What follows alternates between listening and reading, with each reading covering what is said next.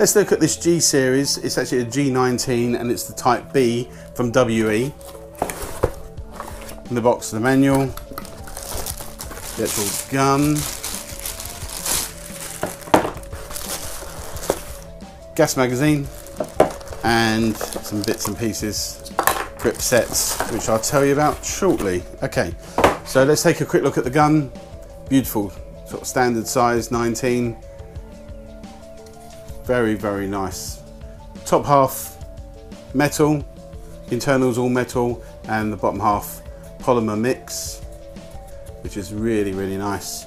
Lovely textured grip to it. Magazine, good heavy solid magazine. Slide stay, because there's no ammo in it. And uh, beautiful, very, very nice. Quality bit of kit. On the side here, just side release and the trigger. It's got the cushion and the two-stage trigger. Very, very nice. Release the mag just on the button on the side here.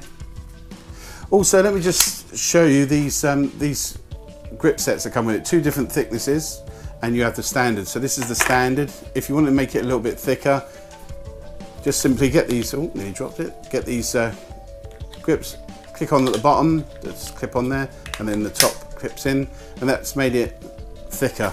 This one's a little bit thinner. I think this is the thickest one. But it feels really nice, makes it nice in the hand. Very, very nice.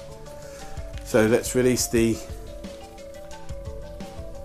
mag just by the way, the safety is just underneath here on all the G series, just safety here. You can just slide that down for the safety on and off. Okay, let's just quickly put a bit of gas into the mag, standard green gas, and some 0.20 gram BBs. These are actually Bulldogs. Don't need that many, it's just for the, the chrono. Should fire around about 350 FPS. Pull the slide back once to set the gun. The chrono's already set up. So see the display, put that there. And just out of camera, I'm just going to put a few shots for it.